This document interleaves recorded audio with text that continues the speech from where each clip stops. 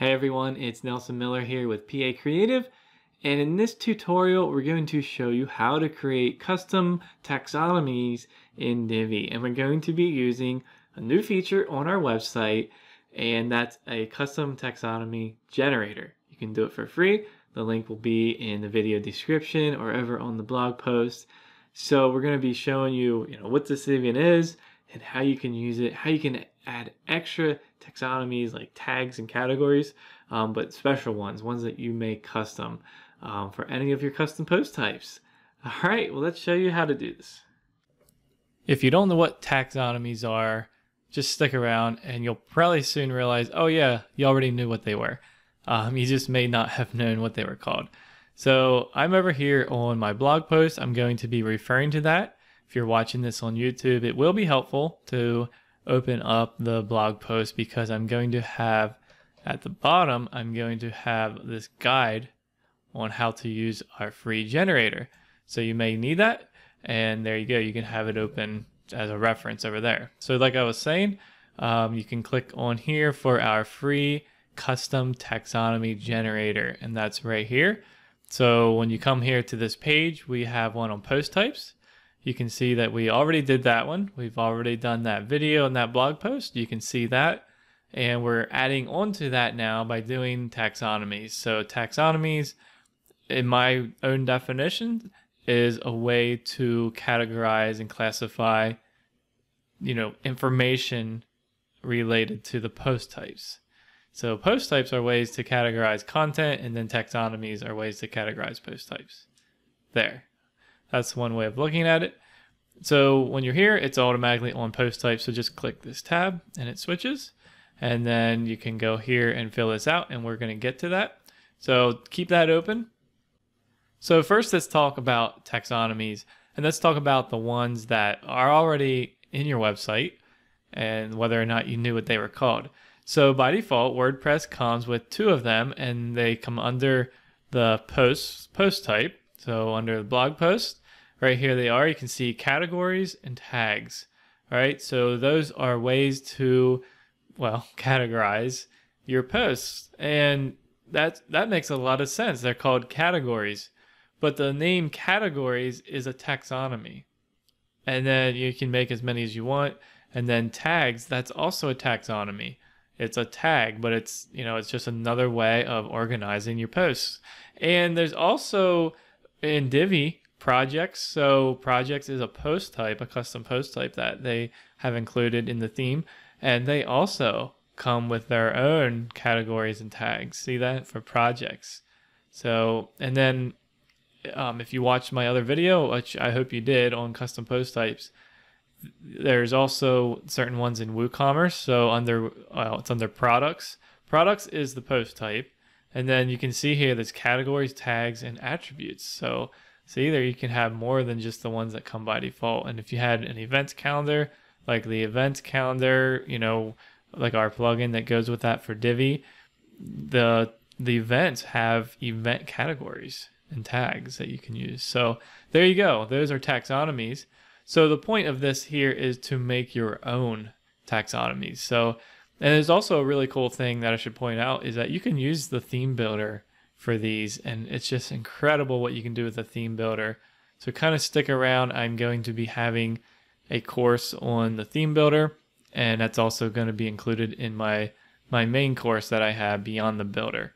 So just all about the theme builder, but it's just incredible what you can do with that and especially with custom post types and taxonomies. So anyway, that's how you would basically integrate them with Divi. But how do we make them? So you could use a plugin. You could use something like custom post type UI. You could use something like pods, and there's a bunch of other ones, you know, post type creator and all those that make, you know, they make it really easy. But here's the thing you're adding another plugin and you've got to keep it installed. So I don't know. There's a lot of extra code. Why not just use the generator when you use my generator, you, you'll see how small the snippet is. It's really not big at all. And you can just add that and then you're good forever. All right, so that's my other option. Use a plugin or use a generator. To me, it just makes more sense to use the generator. There's just there's just no way around it. And the cool thing about ours is that it does auto populate the fields, and I'll show you what I mean by that. All right, so make sure you have it open. We're going to get started and showing you how to use this. Here, I'll just point out that I already made a post type in the last video and I called it cats. And I just went in and filled in different cats here. So I have four of them in here right at this point. But I would like to categorize them. And so I need some taxonomies. So let's make one. Um, I'm going to go in here and go over the settings. So here, name, that's, that's really simple, a singular and plural name. And I'll show you what I mean by auto-populating. So I want to have a taxonomy for breed. So I want to organize my cats or filter them or search whatever by breed. So if I type that in, you see how it already filled in breeds. It filled in the key, which is like the code. How it's that's how everything references it. Basically, it's yeah, it's a technical thing. Um, and then it filled in all of these labels, breeds, Look at that parent breed, view breed, edit breed. See that? Isn't that great? So basically, most of the work is done, if not all of it. You could go and generate it right now. Um, but I will take a minute just to explain a couple more things here. Now, this post type section, you can choose. We're, we're, we're making a taxonomy and we need to choose what post type to apply it to.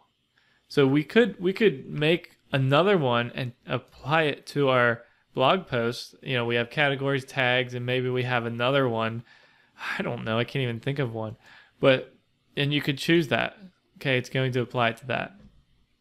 But I don't want that. I want to apply it to my custom one. So here it's saying enter your custom post type. Um, basically, it's the key that we assigned in the post type video and I am going to go in here now and just refresh my memory of what it is. So go to appearance theme editor and you'll go down here to where your custom post type was placed in the functions.php file. Again, make sure you're checking out the other video. I'm not going to go over all that again. So here it is. So here is our custom post type and it's just cat. See, small cat. All right. So I know that my custom post type here is cat. Great. Now we're going to be applying it to that. And labels, they're kind of self-explanatory, but they show up all around WordPress. Now, some of these hierarchical, so like, well, here, I should probably go into the blog post. All this stuff is here in the blog post. I explained all these options, okay? But basically, it's like when you have a child of a category. So like you can go into your categories. I'll just show you really quick. Like let's say I go into categories and I wanted to have like under community, this one that I already had here. I want to make a new one. So like, I don't know, events, something, and then I could choose community as the parent and see now that one's underneath that. And when I would view this, the you can see that the slug is is my domain.com slash category slash community slash event. So it's like, see how it's hierarchical. It keeps going down the line other than just being, you know, community for that one. Okay. So that, that's all that means by hierarchical. And then public, just set that to true.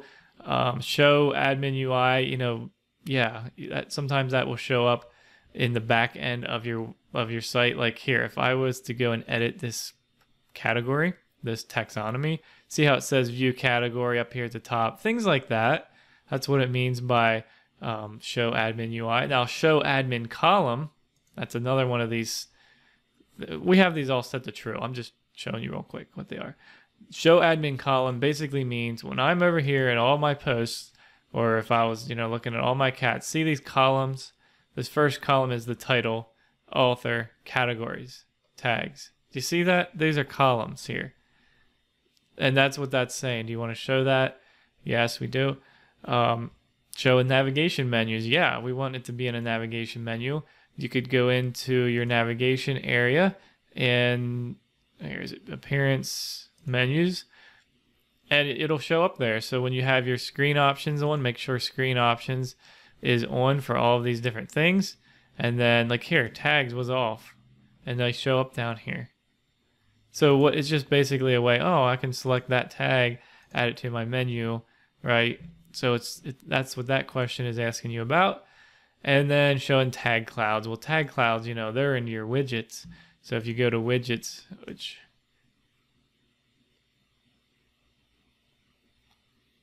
you know, there's one in here somewhere. Uh, tag cloud. There it is, tag cloud right here. So I can add this widget to, you know, maybe my sidebar, something like that. And so that's what that's, see here it says taxonomy, good example. And then I could pick the one. So when we make a new one, we'll be able to pick to show as a tag cloud. Isn't that cool? So that's all because we have, you know, this set to true. So we're ready to generate. All we did was type in our name and that's pretty much it. The cat post type and then left these all to true and then hit generate. You'll get a pop-up like this. Click on copy. Then go back over to your uh, website and go to the appearance and then theme editor. We're going right back in where we were. I'll just, we were in here in the functions.php. Again, make sure you're looking at my other previous tutorial on the custom post types. So You'll need a child theme, of course. So just go down here. Right here is my code. This this section here is my cat custom post type. See? Just that little snippet. Why use a plugin for that? And then this one that I'm going to paste. Okay. Now this here is my taxonomy. So now under cats, you watch when I update the file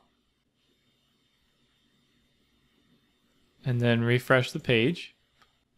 Now our under cats there's breeds. Okay. So I could come in here and oh my goodness, I have no idea. Isn't there like long haired? Okay, long haired. I'm pretty sure that I don't know if that's a breed, but you know what I mean. And then wow, we're very creative today. Somebody that knows about cats can help me out here. All right, so now that there I created some. Those those are like categories in a way. So now if I go to my cats, see how breeds came up here? Remember we chose the column thing?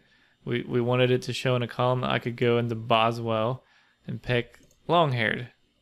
Update. Good. Or I could go in and edit the actual cat post type. And I could go down here to breeds right here on the side and click short-haired or whatever and update. Okay? And I could go back here, right here to the generator and say, yeah, I really like that, but I also want one, you know, I want to show what color they are. So type in color, and we know we still want it to be cat, and we want all these to be true, and generate it, and then copy that and go in here and paste it in again. So functions.php down at the bottom. So we had, you know, the one for read, and then we could add the one for color, and we could put that in there. Refresh, and now I have colors that I could add for my cats. All right. Now, one more thing, I'll show you quick where that shows up in the theme builder. So if I go to Divi, theme builder, and if I was going to assign a template for, you know, my, my cat breeds or my cat collars, right? So here I have a cat's archive page. That was a template. But if I want to make a new one, for the cat, you know, let's see here, breed pages, all breed pages. Um, yeah, so here was my cats, right? That's from the custom post type. But the taxonomies will show up under archive pages, okay? And here you can see collars, all collar, all all breed pages, all collar pages, and then yeah, just specific category pages, specific color pages so you can choose all of them, specific ones. Yeah, it's so much you can do with this theme builder. It's incredible. That's not really what this is about, but you can add what I guess I should show also, you can add a taxonomy to any of these other post types. So post maybe maybe I want to add another one here to post. So let's let's actually do that. It's a really good idea. All right, so let's go back here and make another one. Let's say I wanted to make one like like for my site if I wanted to do this like tutorial. So if I was gonna make like a category of my posts and call it tutorial, I could say post there and then generate this. Okay, copy that and then go back to go in here to functions.php again, paste it in, update the file, and then refresh. And then I'll look under my posts and look at that. So you have categories, tags, and tutorials. So you can add them to existing post types as well. All right, so if you want to take this any further, if you were interested in what I was talking about with the theme builder, then definitely check out my course, Beyond the Builder. I have that linked in the blog post. Go check that out. I'm going to cover the theme builder in depth in that course.